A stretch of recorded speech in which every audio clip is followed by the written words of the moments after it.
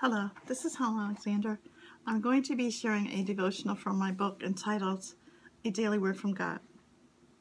Weeping may endure for a night, but joy cometh in the morning. Psalms 30 and 5. Jeremiah had some dark days. At one point, he said, Cursed be the day when I was born.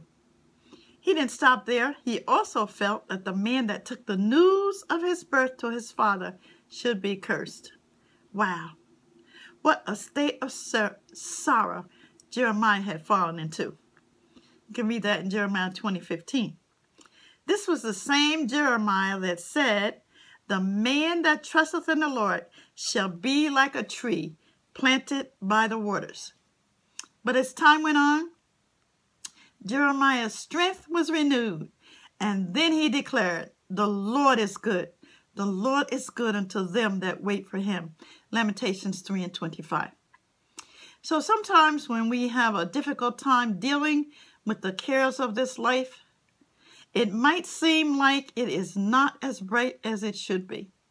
But I encourage you to wait on the Lord. Wait on the Lord. He shall strengthen thine heart.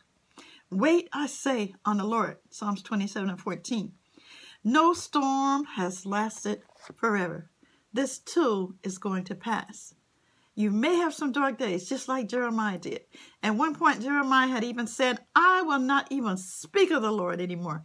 He was going through, but then he said, He's just like fire, shut up in my bones. Glory to God. So I encourage you today to wait on the Lord. Your storm will pass. Glory to God.